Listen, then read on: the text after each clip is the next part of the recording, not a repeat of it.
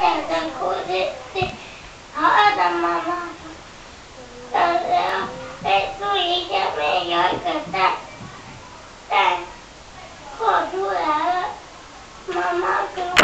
出来了，妈妈跟出来后，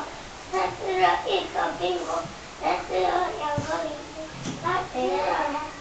三个梨子，吃了四个草莓，要吃了五个。肚子很饿它又吃了羊肠又吃了火腿又吃了棒棒糖又吃了西瓜吃了肉它很想那个叶子